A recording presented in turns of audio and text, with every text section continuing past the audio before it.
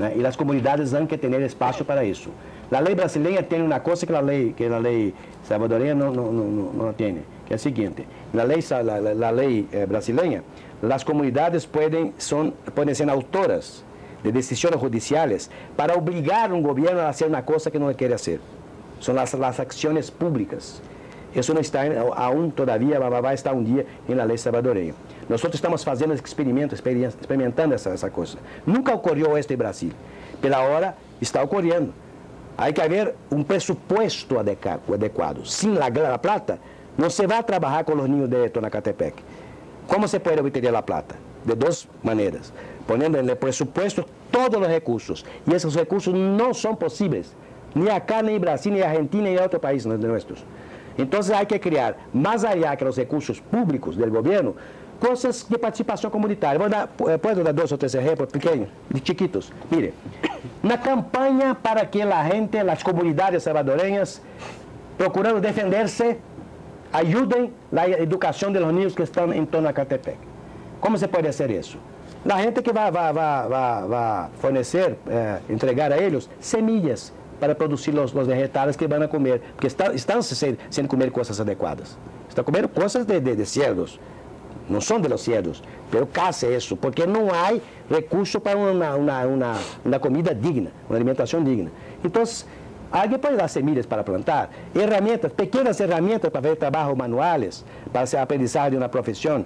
Ou seja, a sua comunidade vai complementar aquilo que, que o pressuposto oficial jamais poderá ser somente ele. Ou seja, a participação comunitária é uma divisão de responsabilidades, porque interessa, les interessa a todos que os ninhos não vuelvan pior do que estão, que vão devolver, volver, da forma como estão tratadas, e na privação, na pura privação. Há que ser na privação com respeito humano, sem maltrato, pero com, com, com, com, com como se pode dizer, com disciplina.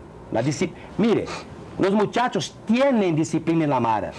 Hay que tener los programas educativos también. Una disciplina, que es una fuerza social, contra la otra, que es la fuerza social de la ciudadanía. Bueno, vamos a hacer una nueva pausa. Recuerde, si quiere formular una interrogante, llámenos al 289-0389. Nos quedan todavía algunos minutos, vamos a un corte comercial y volvemos con la tercera y última parte de esta entrevista. Abajo, gente doctor, algunas eh, salen fuera del tema que estamos abordando, pero otras son oportunas para la discusión en torno a la ley del menor infractor. En primer lugar, usted se refería a la situación en Tonacatepeque, lo que pudo percibir como un centro de reclusión de menores. Pregunta un amigo televidente, una consideración eh, desde el punto de vista de un abogado. ¿Qué haría un juez ejecutor frente a realidades como la vista o como las observadas por usted en Tonacatepeque? Un juez de ejecución debería tomar medidas inmediatas ante la realidad que usted ha percibido en Tonacatepec? Bueno, hay tres o cuatro clases de, de, actitudes urgentes. La Procuraduría de Derechos Humanos y todos sus órganos han que denunciar formalmente, que está en la ley, que aquello es inaceptable porque es una, una acción pública claramente violadora de derechos cuanto a eso. Los jueces de ejecución que están se, se preparando para todo esto, eh, que hacer el control de la ejecución y hay medidas, medidas duras a ser tomadas, porque eh, es una responsabilidad gubernamental, claro. Y la otra es la reacción de la sociedad civil. La sociedad ha que conocer y también eh, ofrecer su, sus préstimos, su, sus posibilidades de, de, colaboración. O sea, eh, ofrecer al gobierno su colaboración para decir, yo soy un participante de un trabajo de cambio de esto. Porque yo, yo no creo que el presupuesto tiene condición de cambiar con una rapidez para, para fornecer todos los elementos necesarios. Hay necesidad de motor para, para la agua, ¿eh? la compra de, de colchones, o problema de los catres que são imprestáveis, silla para sentar-se, mesas. Há duas atividades profissionais que são mecânicas, de repetição. Há que criar atividades pedagógicas. E a gente pode oferecer ao governo sua contribuição. E é uma grande oportunidade do governo pedir à comunidade sua colaboração. Porque o governo que quer ser solamente, solamente ele, assume a responsabilidade solamente sua. Eu penso que é um exemplo de participação para a solução de problemas. Hay otra pregunta, ¿qué opina y si usted recomienda para nuestro país las llamadas granjas penales que existen en los Estados Unidos, en donde el joven que comete un delito es remitido y rehabilitado? Eu penso que para certos casos, claramente sim.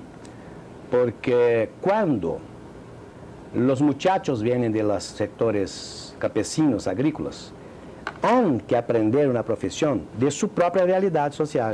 Não se pode pretender que um muchacho que ha, digamos, ha, matou alguém, alguém, cometeu homicídio, venha para San Salvador, passe dois, três anos ou, em um programa urbano e depois vai volver a seu pueblo, a sua, a sua realidade, para fazer coisas agrícolas. Então, há a possibilidade que os centros tenham características. He visitado um centro exemplar. Le falta algumas condições, poucas, mas exemplar, que é de El Espino, que se pode contraponer a, a Tonacatepec, porque eh, lá estão 18 niños e há a possibilidade de fazer coisas eh, eh, que têm eh, características da realidade local. Então, os centros terão características distintas para cada situação social. E mire, para cada tipo de, de, de, de delito praticado, direito praticado, que é descrito na lei como delito, há técnicas e há de, de, de, diferença de centros. Mas eu não sei que se, se, se o país, El Salvador, como o país Brasil, tem condições de fazer eh, tão pronto quanto necessário todos os tipos de centros. Mas há que começar com experiências variadas. El problema de hacinamiento en los centros penales no es exclusivo de El Salvador ni tampoco de los centros de reclusión para menores infractores. El problema de hacinamiento es generalizado. A su juicio, para el caso de menores, eh, ¿cómo debe de, de, de, ser diseñado un centro de reclusión? ¿Debe de tener un, un límite una capacidad eh, límite de absorción de menores infractores? Porque después de esa cifra ya la cantidad ya no es manejable por las autoridades. Mire, he estado a cargo de la Dirección General de los estabelecimentos dessa natureza em Rio de Janeiro, em uma das, piores épocas, que não é essa hora. Foi o ano 1979, quando entrou em vigor o Código de Menor Brasileiro, que foi substituído depois por, por o Estatuto del Niño e do Adolescente Brasileiro. Então, eu conosco as técnicas todas possíveis em países como, como nossos. He visitado também centros de outros países mais desenvolvidos. Agora, o desenho básico é o seguinte: de preferência, que o niño não seja enviado a um centro de privação, que, que haga um controle social com natureza pedagógica em seu próprio meio. Isso permite praticar coisas para, para preparar-se para a vida. Mas isso não é possível em certas circunstâncias, não somente porque o niño, essa, a atracção de la mar é uma coisa, uma força muito forte, como a sua própria situação personal de agressividade, há que ser tratado em um ambiente mais com mais segurança. Então se admite o centro. E o centro como é? É uma, construção com segurança, dois tipos de segurança. A segurança interna e a externa. A interna é de natureza pedagógica, ou seja, não se pode transponer os muros. Mas dentro do centro não são celdas, são, é, são, são divididos, há as habitações y los, los lugares para el aprendizaje, para la, la, práctica de esportes y para trabajo del concepto de ciudadanía. ¿Qué va usted, usted a hacer cuando sale de acá? Son, son, es, un, es, un, tratamiento comportamental de, de actitud. Y hay la posibilidad de espacios para se plantar cosas, para hacer cosas. En suma, hay una posibilidad de estar recluso, pero con una libertad interna. Essa liberdade é para preparar o ninho para quando vai viver a liberdade externa, tenha disciplina personal, distinta da disciplina das maras. Porque a, possibilidade ou a realidade que existe é a seguinte: os internos trazem a disciplina das maras para dentro de, de, do centro. Mire, claro, se, eh, em toda Catepec você tem 200, não sei quantos são das maras, mas a disciplina das maras que vai imperar no centro. E há que haver uma, uma disciplina pedagógica, com técnicas mais variadas. Depois, na parte de fora do centro, há que haver uma segurança externa. E essa segurança há que ser através da polícia normal da sociedade. Porque a calle já não é mais centro. O centro tem a possibilidade de centro para dentro. Então não há que usar armas de fogo, há que usar armas morales, pedagógicas e a contenção. Na parte de fora, há a polícia, porque se fuga, Ele está criando uma ameaça à sociedade. Então, a polícia externa que vai cuidar do problema. O problema da, da prevenção e da repressão que faz a, a, a, a polícia.